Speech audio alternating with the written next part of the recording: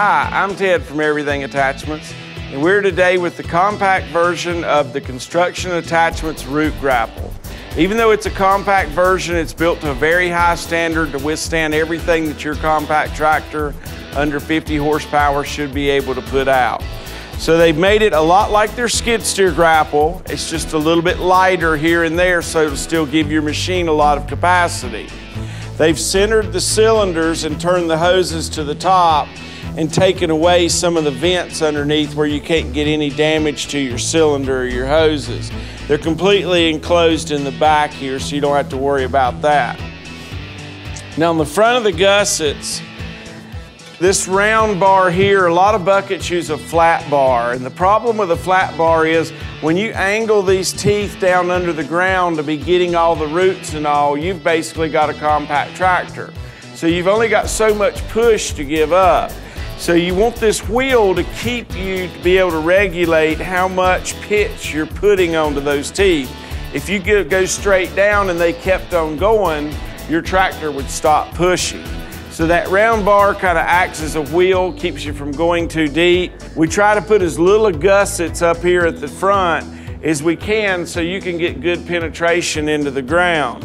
So the more gusseting that you find within a grapple means really the cheaper it's built. It might weigh more, but it won't be as strong. These have the, uh, the nip guards on the end of it. It has a separate plate welded to the end of the grapples that are kind of sharp to help you pull and tear things out of the ground. Unless you specifically ask for something different, on the compact tractor stuff, you will receive half-inch ag couplers and hoses on all of our equipment. If you need flat faces or something because you're gonna put it on something different, let me know. If you need the John Deere hitch, there is an upcharge, but you can get the John Deere hitch. You can get four pin mounts for most loaders. There is a small upcharge for that. Just let me know what you've got so we can get you the right mount. If you're considering purchasing a construction attachments root grapple or a brush grapple for your tractor, there's a couple extra things we just wanted to let you know. One is you know you're gonna need a hydraulics to open and close these clamshells and we're gonna go over that in just a second. On this new design, it does have 29 and a half inch opening, so you can get to just about anything that this size of tractor is gonna handle. This compact root grapple is meant for 50 horsepower and below, comes in a 60, 66, and 72 inch widths. Because it's a little bit longer, normally if I'm gonna be in tight quarters, I cut the width of what my normal bucket is down about six inches so I can get around better. If I've got a big field and a lot to do, then I probably want as much as I can get on there to, to work with.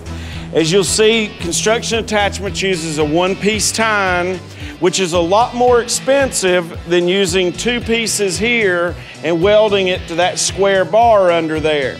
It uses a lot more steel out of a plate to burn that than it does using just bar steel, but it makes it about twice as strong.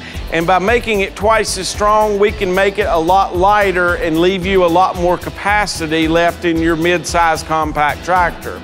So these grapples are independent and that's what you want to be the best. So if your load is irregularly shaped from you know a large load to a small load, you're gonna get the same amount of clamping force on both ends, but the grapples may not always work perfectly together. One may open a little before the other does, but that's what you want it to do.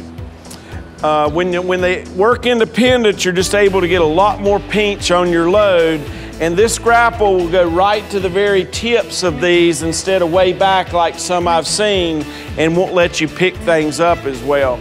So we really like the new design of the construction attachments root grapple here. Now on this one, this uses a, a third function auxiliary hydraulic kit. There are a couple different ways you could do it. If your compact tractor happened to have rear hydraulics, you could simply run longer lines to the back of your tractor you would have to remove your hand from your loader handle and go back to your remote handle to clamp your jaws and then go back to your loader lever. With a true third function valve, you're able to use your loader up and down and your crimping at the same time. So that really makes it convenient. So your hydraulic lines are run right up here to the front where they couple up. This particular unit uses a standard skid steer quick attach. It can come with other different attachments if you need. Then where Peanut's sitting up here, the hydraulic valve, which is operated electric over hydraulic, is mounted right behind here where you can't see it. And the hoses are simply wire tied down the boom to the center to get your hydraulics there.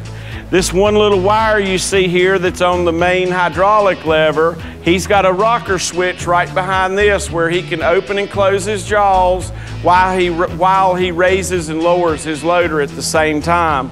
Much more convenient than reaching behind here to get to the remotes if you run the long lines.